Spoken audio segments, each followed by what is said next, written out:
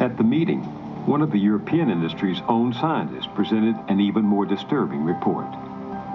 Dr. Lefebvre theorizes that vinyl chloride is absorbed in body fats and carried to the brain. Despite the startling prospect that vinyl chloride could affect the brain, the companies took no action and told no one. The present political climate in the U.S. is such that a campaign by Mr. R. Nader and others could force an industrial upheaval via new laws or strict interpretation of pollution and occupational health laws.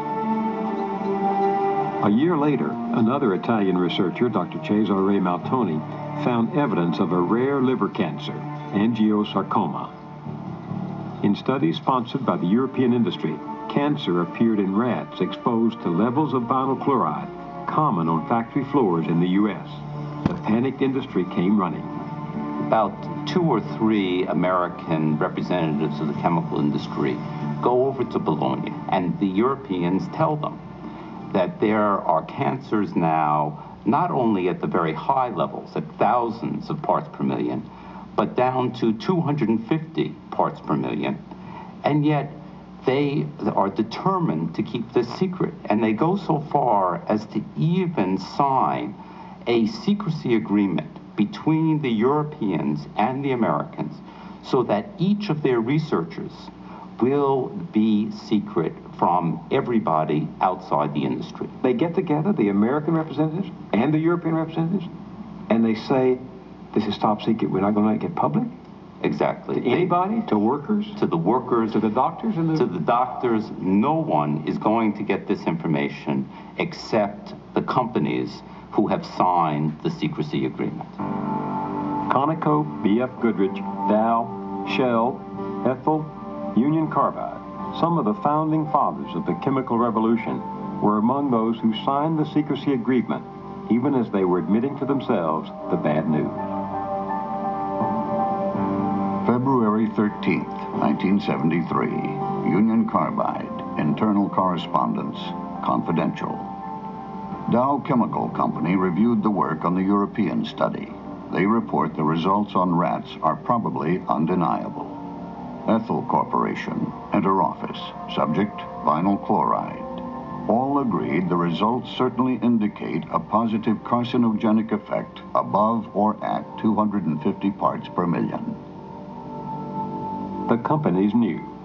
Working with vinyl chloride, even at low levels of exposure, could cause cancer. By 1973, the federal government was trying to catch up with the chemical revolution.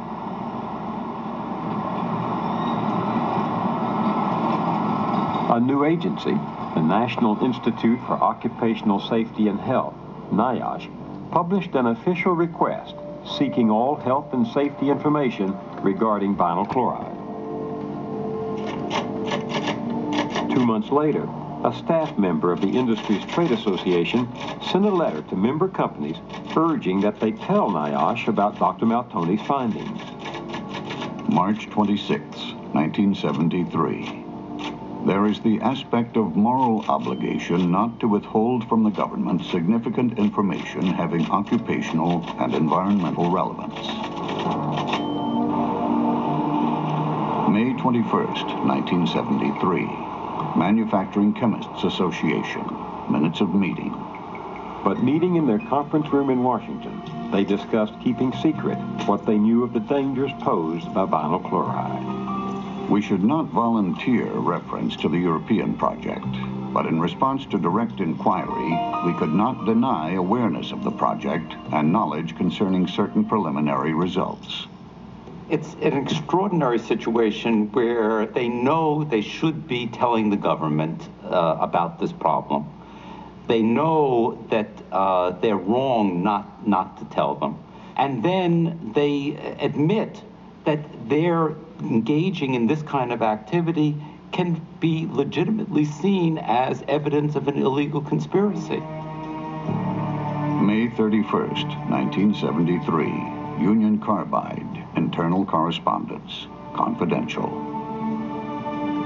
A Union Carbide executive reported to corporate headquarters that if the March letter admitting knowledge of Maltoni's work ever became public, it could, be, construed, as, evidence of an illegal conspiracy by industry if the information were not made public or at least made available to the government. You kind of avoid as a historian the idea that there are conspiracies or that there are people planning the world in a certain way. Uh, you just try to avoid that because it's uh, it seems too too unreal and too um, frightening in its implications. Uh, yet when you look at these documents, you say, yes, there are people who understood what was going on, people who thought about the, uh, about the crisis that was uh, engulfing them or about to engulf them and tried in every which way to uh, get out of that crisis and actually to, in some sense, suppress an issue. Do you think all of this added up to, to use your word, a conspiracy? In a moral sense, I think it was a conspiracy. We have learned from the secret archive that when the industry met with NIOSH, it did not mention Maltoni or angiosarcoma. Union Carbide, internal correspondence, confidential. The presentation was extremely well received, and the chances of precipitous action by NIOSH on vinyl chloride were materially lessened. NIOSH did not appear to want to alienate a cooperative industry. Historians don't like to use, you know, broad political terms like cover-up, but there's really no other term that you can use for this because the industry uh, had the information, they uh, knew the significance of the information they had, and they refused to tell the government because they were afraid the government would take action that would protect the workforce. And yet, during this time, Dan Ross and others like him, working in vinyl chloride plants, were being told that there was nothing to worry about, that there's no danger. That's correct. The industry kept assuring the workforce that there was not anything that they need to be concerned about and that they were uh, going to protect the workforce. But they didn't. No, they certainly did not.